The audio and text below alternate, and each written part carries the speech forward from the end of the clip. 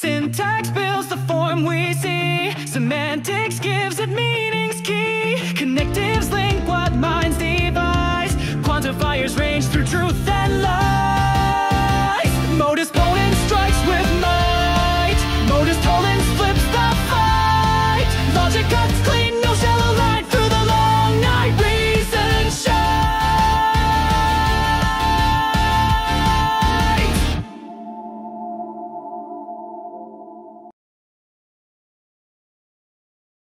Previously, we introduced how to define the truth tables for propositions involving a single connective. Now, when dealing with a compound proposition containing multiple connectives, we can use its syntax tree to decompose it into several simpler propositions, each involving only a single connective. After that, we study the truth values of those simpler propositions at each hierarchical level by recursively applying the basic truth tables. With these basic rules in mind, let us now construct the truth table for the example mentioned at the beginning of this section. Recall that the proposition reads P or Q and not R implies S. We first list the four atomic propositions P, Q, R, and S. Next, we list the two compound propositions at the first level, P or Q and not R.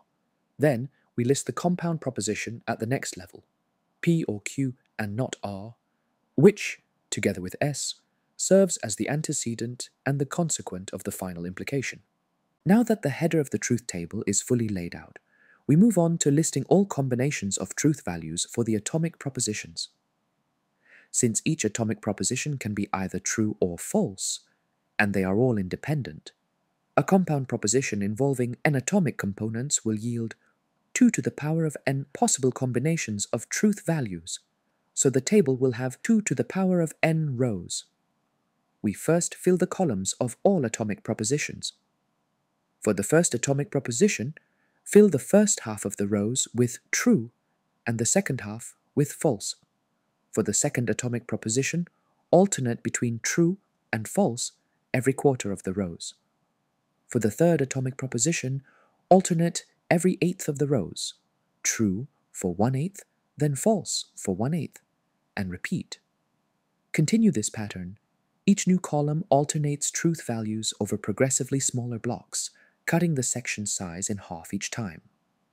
This way, we generate all distinct combinations of truth values in an organized fashion, which will allow us to evaluate the compound statement row by row using the basic truth tables. Let us deal with the scenario where all the atomic propositions are true. Since P is true, the disjunction P or Q is true. Since R is true, the negation not R is false. Now that not R is false, it follows that the conjunction is false as well. But this conjunction serves as the antecedent of the final implication.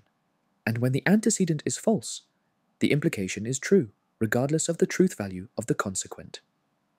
We conclude that the implication is true in this case. Let us study another scenario where P is true, while Q, R, and S are all false. We proceed similarly as before. Since P is true, again the disjunction P or Q is true. Since R is false, the negation not R is true. Now that the two individual propositions, P or Q and not R, are both true, so is their conjunction. Now the implication has a true antecedent and a false consequent, which in turn produces falsity in this case. The remaining cases can be studied in a similar way, and we leave it to the audience. Now that you've learned what a truth table is and how to use it to evaluate the truth value of a compound statement based on its atomic components, a natural question arises.